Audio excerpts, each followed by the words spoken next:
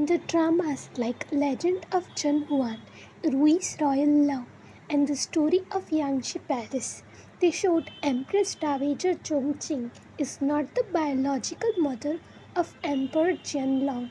So, in real history, who was the biological mother of Emperor Qianlong? In real history, Empress Dowager Chongqing was the real biological mother of Emperor Qianlong, and she only had one son, that is Emperor Qianlong.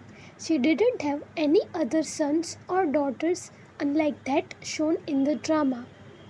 Empress Dowager Chongqing entered the palace as secondary consort of Emperor Yongzheng, and when Emperor Yongzheng uh, inherited the throne, she was promoted to consort Xi, and after a few years, she was promoted to noble consort Xi, and after the death of Empress Ulanara, she was in charge of the harem.